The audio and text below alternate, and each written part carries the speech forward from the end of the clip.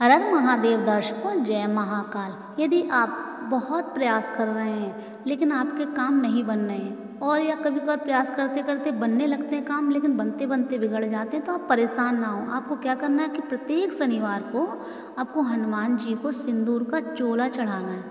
ध्यान रखिए, प्रत्येक शनिवार को आप ये काम करने लगे, जब आप देखें कि आपका कोई काम नहीं बन रहा है, बिगड़ रहा है तो आप प्रत्येक शनिवार को भगवान, जो हनुमान जी हैं, उन्हें आप सिंदूर का चोला चढ़ाएँ और लड्डू और पान अर्पित करें। इस उपाय को करने से आपके जो भी बुरे दिन हैं, आपके जो भी काम में सफलता नहीं मिल रही है, वो मिलने लगेगी, बुरे दिन समाप्त होने लगेंगे और आपके जीवन में खुशहाली आने लगेगी।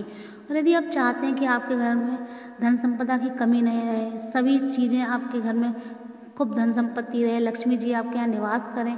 तो आपको एक उपाय करना है, इसमें आपको क्या करना है कि आपको प्रतिदिन हनुमान जी के आगे दीपक एक जलाना है।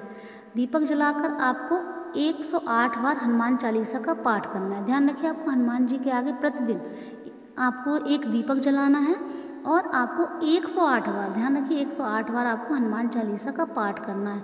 और ये जो आप हनुमान चालीसा का पाठ और जब दीपक जलाएँ तो ये आपको करना भी लगातार 108 दिनों तक ही है।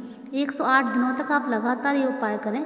देखिए, इसके करते ही आपके जो भी जीवन में समस्याएँ हैं, जो भी दिक्कतें हैं, जो भी परेशानी है, वो सब समाप्त हो जाएँगी। धन का आगमन होने लगेगा, आपके सभी काम बनने लगेंगे।